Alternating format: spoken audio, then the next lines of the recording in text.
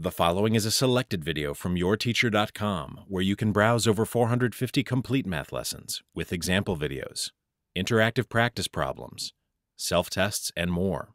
Try a complete lesson today at yourteacher.com.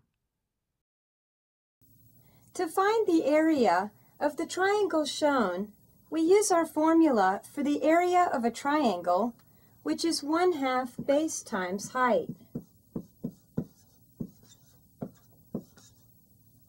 The base of the triangle has a length of 24, but we don't know the height. In fact, we don't even have a segment that represents the height, so let's draw one in.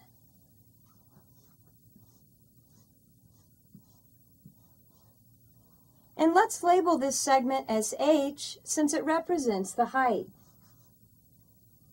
Next, notice that the original triangle is isosceles since two of its sides are congruent, so the segment that we've just drawn creates two congruent right triangles by hypotenuse leg.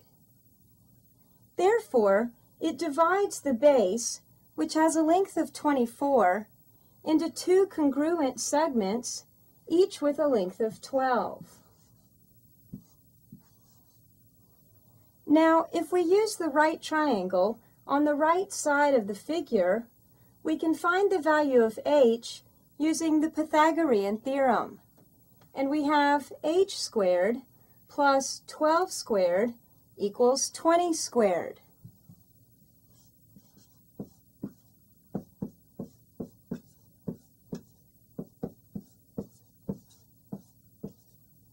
Solving from here, 12 squared is 144 and 20 squared is 400.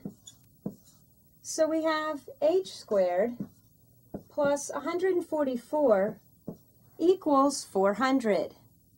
And subtracting 144 from both sides gives us h squared equals 256. And square rooting both sides we find that h equals 16, which means that we can replace the h in our diagram with a 16.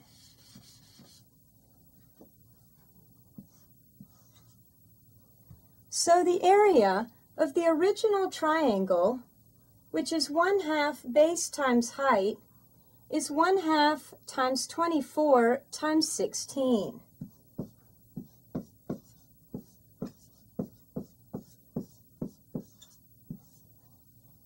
24 times 16 is 384. So we have 1 half times 384, which equals 192. So the area of the original triangle shown is 192.